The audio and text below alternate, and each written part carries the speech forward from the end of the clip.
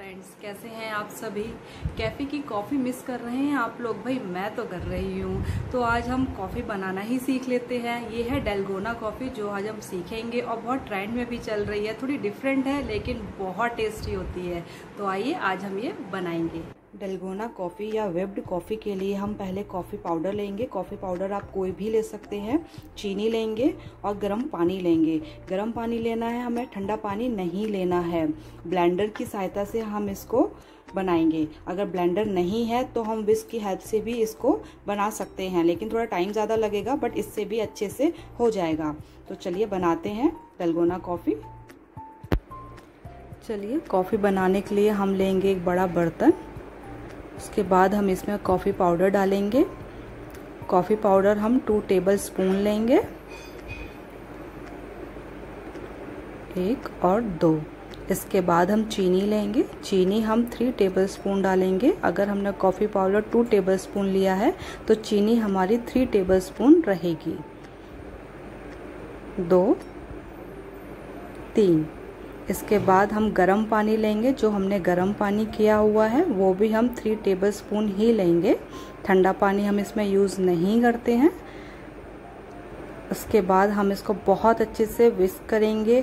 एक तरह से डेलगोना कॉफ़ी हमारी, ये समझ लीजिए, सरल भाषा में कि इसको हमें अच्छे से फेंटना है। जितना अच्छा हम इसको फेंटेंगे, उतनी ही हमारी अच्छी एक डेलगोना कॉफ़ी बनेगी। तो इसमें थोड़ा टाइम ज़रूर लगेगा, लेकिन ये बहुत टेस्टी बनती है। इसमें हम ब्लेंडर की हेल्प भी ले सकते हैं, उससे हमारा टाइम कम लगेगा और बहुत जल्दी बन जाएगी।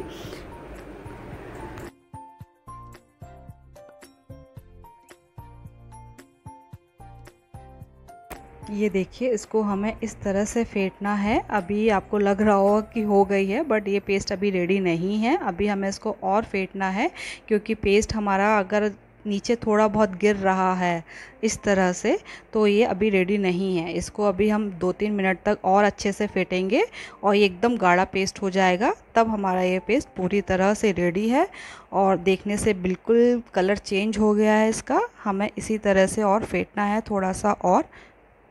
देखिए, कलर भी पूरी तरह से चेंज हो गया है। हमारे जो कॉफ़ी पाउडर चीनी का मिक्स होकर, और ये हमें इस तरह से चाहिए। ये देख रहे हैं आप, बिल्कुल नहीं गिर रही है।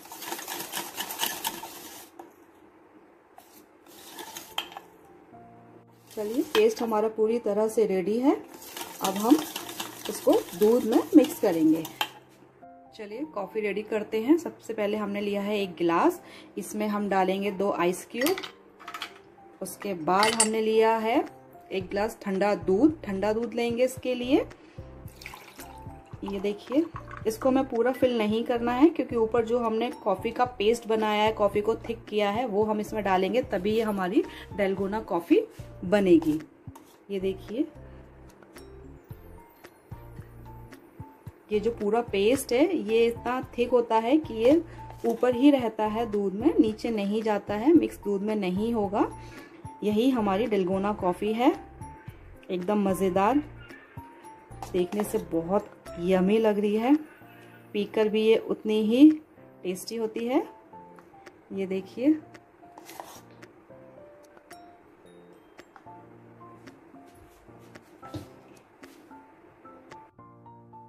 ये देखिए, हमारी डेलगोना कॉफ़ी पूरी तरह से रेडी है।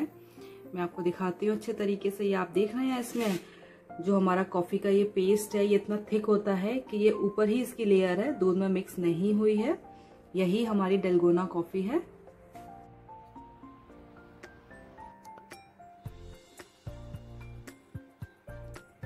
ये हमारी हो गई कॉफ़ी रेडी अब ये लग रही है एकदम मज़ेदार। अब हम इसको पियेंगे। इसको पीने के लिए हमें, क्योंकि ये बहुत थिक होती है ऊपर से इसकी जो कॉफ़ी की लेयर है, इसको हम पहले थोड़ा सा मिक्स करेंगे। इस तरह से मिक्स करके फिर हम इसको पियेंगे। ये देखिए।